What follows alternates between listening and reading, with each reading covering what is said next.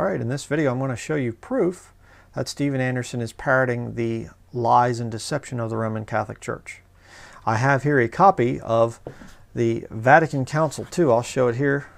Uh, Vatican Council II, uh, the basic 16 documents. That was This was done back in the 1960s. Let me show you a very interesting part here of this Second Vatican Council. Give me a minute here while I zoom in. Okay, here we have page 573. You can see it. It says, even though the Jewish authorities and those who followed their lead pressed for the death of Christ, uh, neither all Jews indiscriminately at that time nor Jews today can be charged with the crimes committed during his passion. It is true that the church is the new people of God, yet the Jews, see the replacement theology there?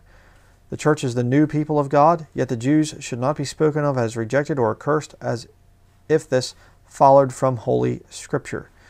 This right here is exactly what Steven Anderson talks about. Okay?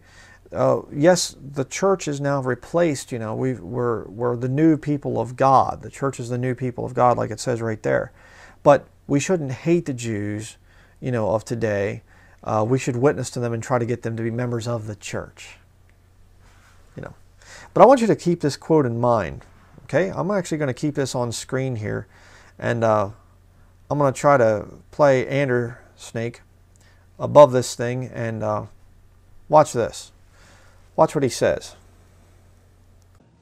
I'll be honest with you. I don't blame the Jews of today for killing Jesus. It was thousands of years ago, right? I mean, if we run into the Jews today, can we really blame them and say, you killed Jesus? No. That's ridiculous. Okay, that is silly, isn't it? If I were to blame today's Jews and say, hey, you killed Jesus. No. Hmm. So, Ryan, that was just one little clip. Let's watch another one. This is from the same thing, uh, The Jews and Their Lies his sermon series. So it would be silly for me to get up and blame today's Jews for killing the Lord Jesus. So he said it twice. So is that it? No. Let's watch one more.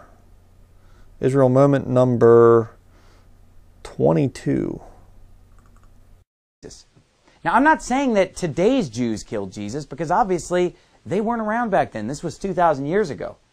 But back when this happened, the Jews are definitely the ones who killed Jesus. Okay. So there you have three different times he says the exact thing that appears here on page 573 of the Second Vatican Council. Now, is that just a coincidence? Or was he trained to say certain things?